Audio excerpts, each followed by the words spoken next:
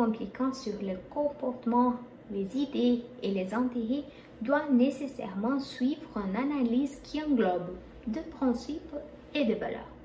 Il convient également de noter le contraire, car une éthique sans une analyse empirique peut produire des résultats indésirables.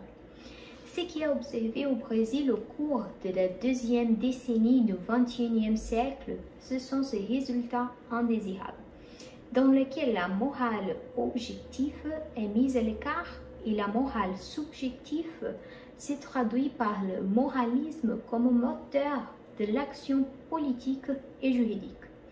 La prédominance du bon sens et des émotions populaires devient un allié très important d'intérêts obscurs et de prétentions égocentriques de la part des personnes au pouvoir.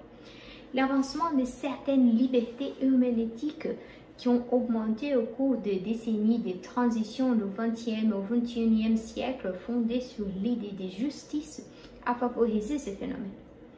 Ainsi, le constitutionnalisme de la fin du XXe siècle a entraîné une charge d'évaluation à la continu éthique. Aujourd'hui, celui qui décide des conflits de la société doit rester indépendant par rapport à eux, mais ce n'est pas la réalité de la dernière décennie.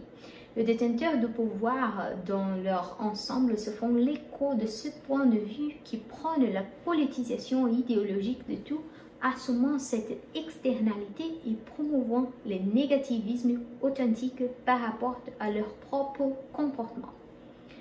En transposant cette idée à la situation actuelle au Brésil, il est inconcevable de penser qu'une autorité publique, en particulier dans le cadre du chef de l'État brésilien, puisse interpréter les problèmes d'une nation à partir de ses conceptions personnelles, sans aucune base technique car cela cesse évidemment de servir l'intérêt public, indépendamment de toute possibilité de, de, ses bonnes intentions.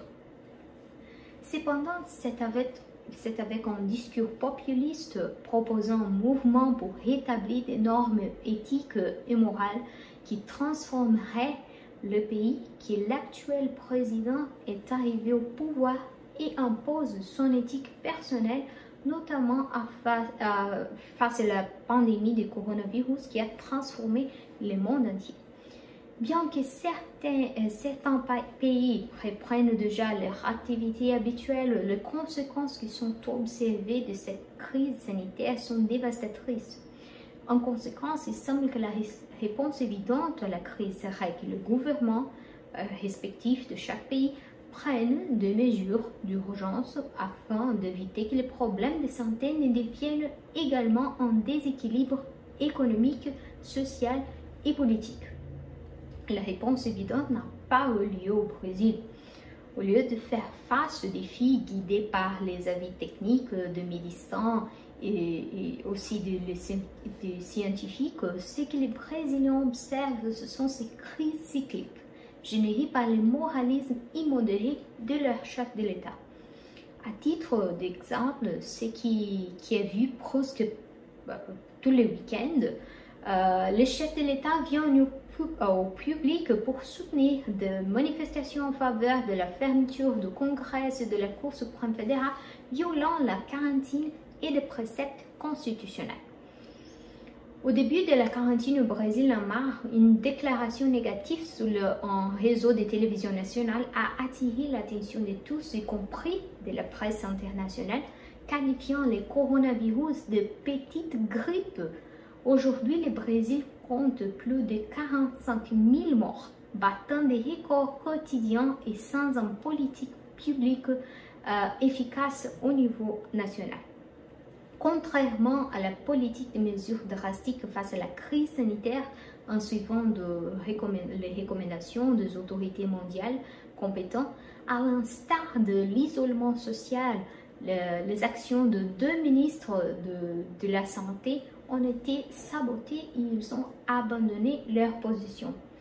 Depuis l'abandon du dernier ministre mois, les Brésiliens vivent d'actions et des informations très précaires.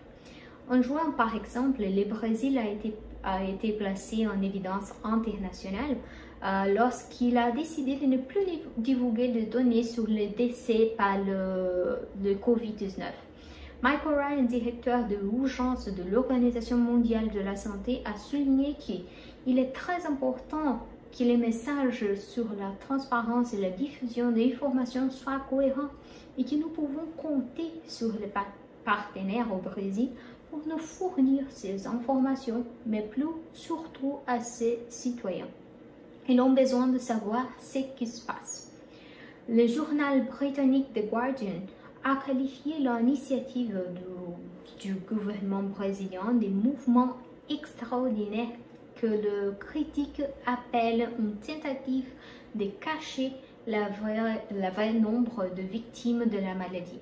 Les statistiques du Brésil sont terriblement déficientes et dans certains cas manipulées, ce qui signifie qu'il ne sera peut-être jamais euh, possible de vraiment comprendre l'ampleur de la pandémie dans euh, le pays.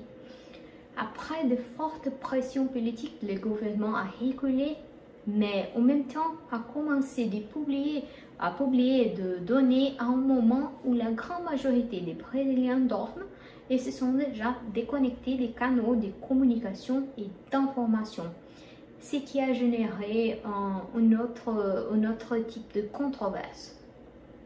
Les soutiens que les gouvernements avaient auparavant de, de certains secteurs politiques et privés n'est plus certain et la crise qui a observé donne lieu à la mise en œuvre d'un programme autoritaire sapant la démocratie brésilienne. Une tentative a été faite euh, dans le sens dans le sens lorsque au milieu de la nuit, une mesure provisoire a été émise qui restreignait le précepte de la loi sur l'accès à l'information qui détermine la publicité des actes publics au Brésil.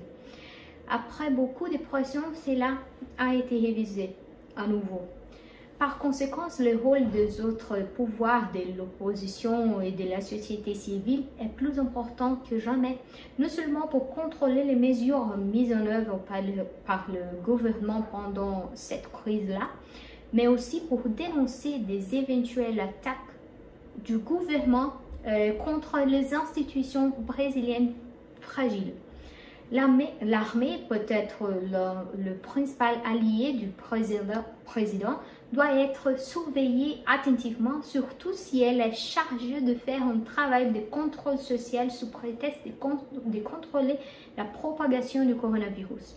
Sur la base d'une éthique tellement euh, tournée vers l'économie, le chef d'État brésilien dédaigne de la santé publique et s'abstient de financer des programmes sociaux de grande envergure pour aider des millions de travailleurs formels euh, et informels euh, touchés par la pandémie. La seule alternative proposée était de donner 60 reais ou 103 euros par mois par personne. Enfin, le moralisme politique devrait, devrait, être mis de côté pour comprendre que le Brésil doit être gouverné pour tout le monde et pas seulement pour un militantisme fanatique virtuel. Malheureusement, cela ne semble pas d'être la voie à suivre. C'est que se forme chaque jour tout pour provoquer une rupture internationale dont les conséquences seront dramatiques pour le Brésil et aussi pour l'Amérique latine.